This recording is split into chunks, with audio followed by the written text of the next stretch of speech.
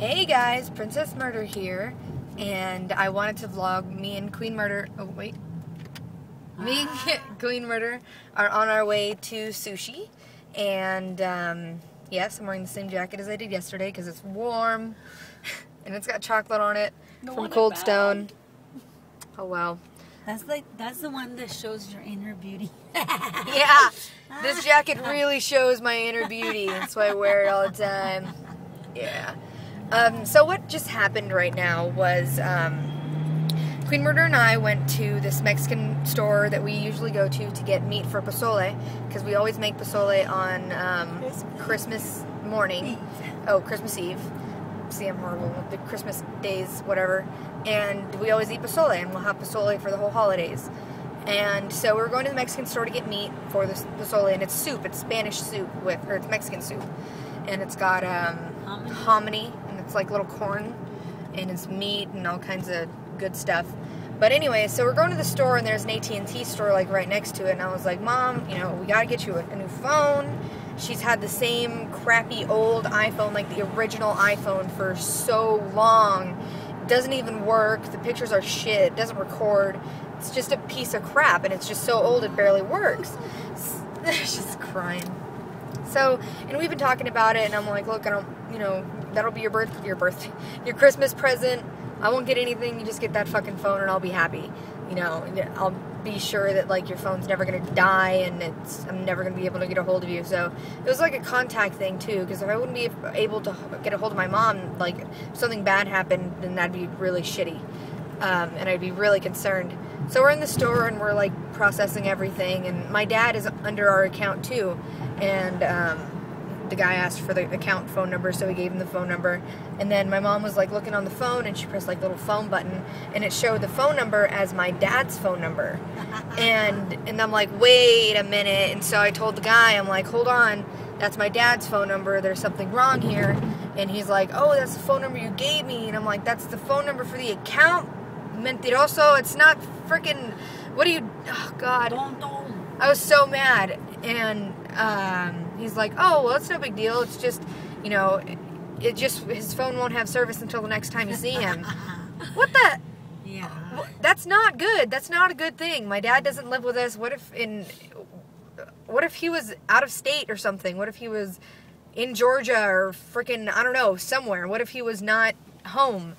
So the guy's like, "Oh, I'm sorry. I'll fix it." So we stood there, and I'm like, you know, Well, trying what, to.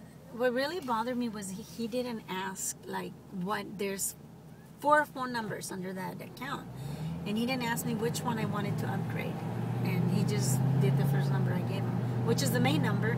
He's the one on the on the contract, the first one on the contract. So, anyways, big mistake. Yeah, so we're freaking out, and my dad is really sick. He's got diabetes, he's got, I mean, every disease that you can think of. He's got really bad heart problems, and so we don't know if he's going to have diabetic attack or like going to, what is it, diabetic shock or any kind of heart issue. Like, he is constantly in and out of the hospital for his heart condition, so if he doesn't have a phone, that's bad. Like he won't be able to get a hold of us and let us know that he's in the hospital, or that he needs to go to the hospital, or that all this is going on, that he's not feeling well, etc., etc. So that's like the first thing that we thought about. Like, what if something happens and he's sick?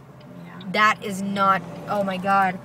And then Queen is the one who brought that up because I'm like, oh, you want to have service, whatever. And then she's like, no. What if he? What if something happens and he needs to get a hold of us and he's sick or something like that? Yeah. So I'm like, shit. And I just started stressing out. And and so we dropped what we were doing. We didn't end up going to the meat store. We just went to um, right straight to his house. And he lives above a bookstore and a bar. And so it's really weird. He's got like this side door. And so I was ringing his doorbell and he wasn't answering. And so he's got like a balcony right above the bar and that looks over the street. And so I'm standing out on the street screaming, Dad! Dad! Dad! And I mean, I'm, I'm yelling because I'm fucking scared. I don't know if he's home, if he's at work, you know, this, this, or A, B, C, D. All these horrible things are going through my head, you know? And so he finally, he peeks his head over the thing and he's like, oh, hey. And me and mom are down there and we're like, thank God, man. Jesus Christ. We're having heart attacks down here, and you're up there listening to Nobody Will Love Me Like My Dog, you know, fucking eating crackers and shit. And oh my God. And he's like, oh, that's funny. And I'm like, okay, oh, where's your phone? Like, that's the first thing I said when I saw him. And he's like, oh, it's over here. Why? And I'm like, okay, well, this is what happened. And I told him what happened, and he's just like, oh, I didn't even notice. I'm That's like, good. I'm like, We what? We were freaking out. freaking out. Like, oh my god, I have bad panic attacks, and I was, oh, I almost had a panic. I can't get my purse. I almost had a panic attack because of that. I was so freaked out. Are the lights off? I don't know. Okay. We are going to sushi now that everything is okay. Because, oh my god, I was so, so stressing out. I mean, I'm sure you can understand. Like when your parents are sick, it's just a bad. Oh, my light's on. Unlock the door. Mine. Yeah, I left the lights on inside because if I wouldn't have turned on the lights, you wouldn't have been, bit, bit, bit, you wouldn't have been able to see. So that's what we were just doing, fucking running around town and traffic. Oh, geez, sorry, in traffic, and I was just freaking out, and I was like, oh my god. So now we're gonna eat sushi and make everything better. okay, Queen Murder, say goodbye. Goodbye. All right, see you guys later.